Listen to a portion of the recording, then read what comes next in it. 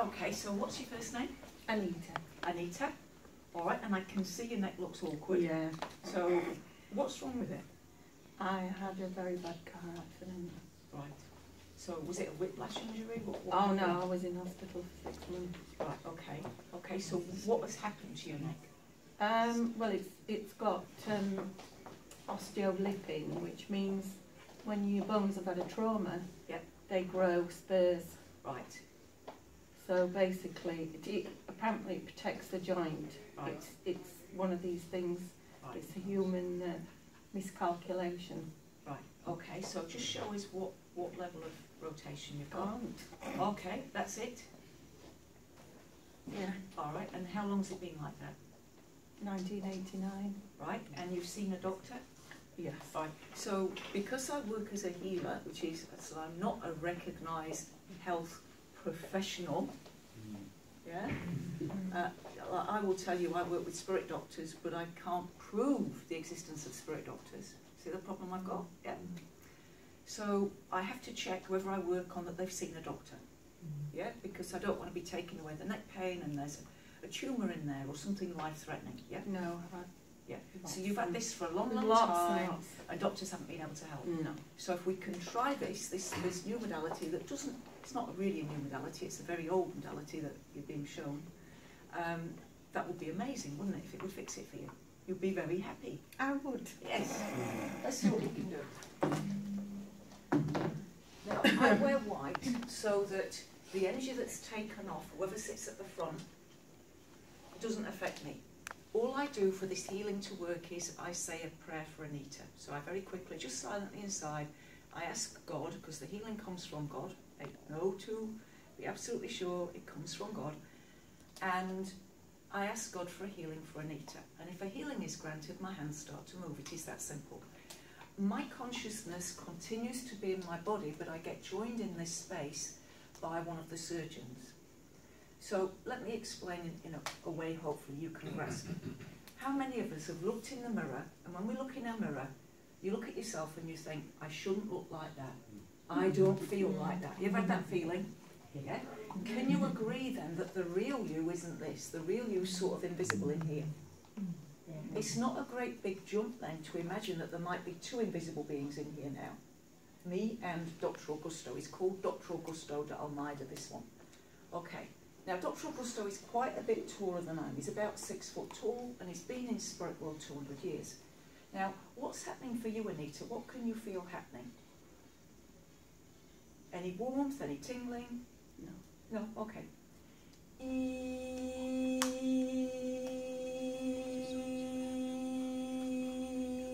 Now, we've just been joined by another spirit surgeon Dr. Oswaldo Cruz. Dr. Oswaldo Cruz has found a piece of tissue in uh, Anita's neck that shouldn't be there, and he's just taken it out.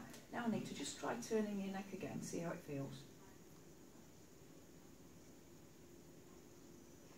That's a little bit better, isn't it? Story time. It's this side. That's a lot better than we started with.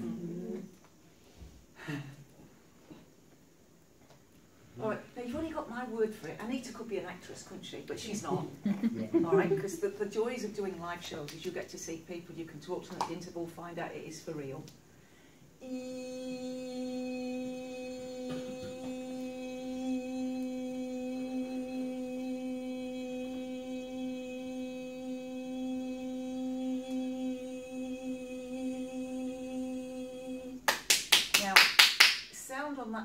was used to break up tissues that have got blocked. If ever you've got joints that feel like stiff or graunchy, very often it's crystalline structures that have formed in there, sometimes because of trauma in this case, but sometimes because of pollutants in our atmosphere, whether it's in things like vaccines, whether it's in things like sprays, hairsprays, aerosols, fly sprays, whether it's uh, poisons on our food, you know, like pesticides and herbicides, glyphosate. E- Right, Anita, try turning your head again. Yeah, that's a lot. It's a lot better, isn't it? Since how how long ago was it? Since 19? It's still very stiff on that side. Yeah, cool. 1989. 1989. That's not bad, is it? That's 30 mm. years, isn't it?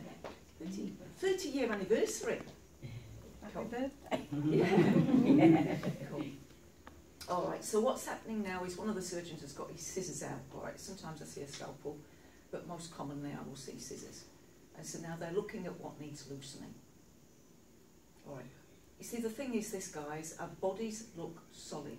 To us, they look solid, they feel solid, but scientifically, mathematically, according to quantum physics, our bodies are 99.99% space. Why? Because there's a lot of space within the cells, mm-hmm. and there's a lot of space between the cells. So this is the more detailed work, this is the psychic surgery part, so I'll just for clarity, when Dr. Oswaldo Cruz came in and removed that piece of energy that started to loosen things up, that was psychic surgery. This that I'm doing now is psychic surgery. So it's like a, it's like a, an operation is being performed. They don't use scalpels because if they were to do that, I would go to jail. Yeah, they're using just sound and light technology.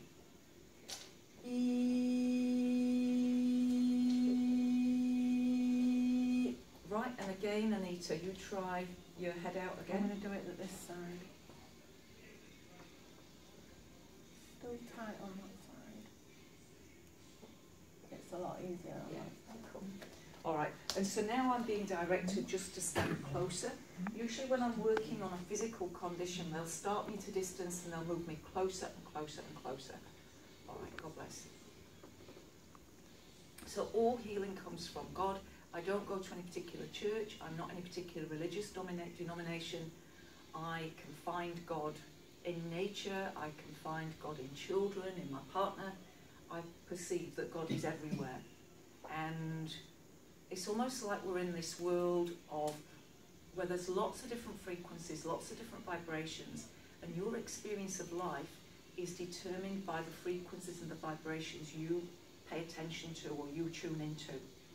All right, God bless. So Oswaldo Cruz is the one, so Dr. Augusto is the usual one that works through me, but on this occasion, Dr. Oswaldo Cruz is the one that's doing all that needs to. Typically he works on spines. Any kind of paraplegia, it'd be Dr. Oswaldo Cruz. God bless. Taking some measurements within the neck so they can work out what needs to change in what way.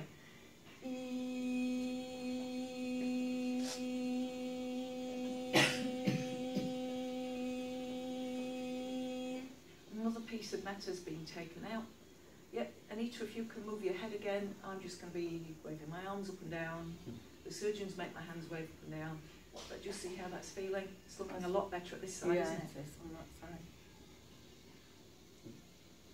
A lot, lot better than when we started. Yeah. Yeah, cool. Right, now they're coming in really, really close. I never manipulate the body. I have not got any qualifications in any kind of man- manipulation. Uh, the surgeons have worked through me now for 25 years. Uh, they don't ever take me over completely. My consciousness is still here, so I take responsibility for everything that comes out of my mouth. And my job is really to demystify this for everybody so that um, whether we're lay people, whether we're scientists or doctors, so they can understand what is happening. Because the new medicine is going to be all about sound and vibration.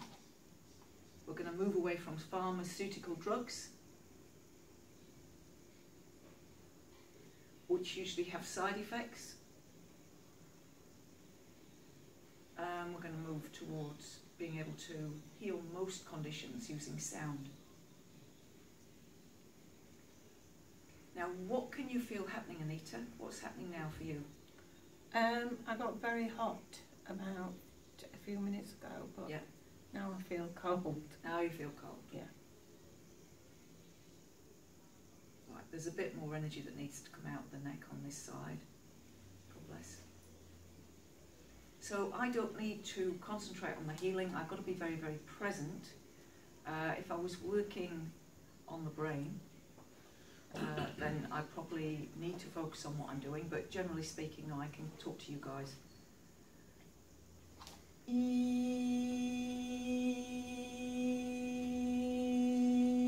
Lucky for me as a kid, I developed very strong powers of concentration, and I did so playing chess. When you play chess, you learn to concentrate because you, to win a game of chess, you need to be able to think ahead more moves than your opponent.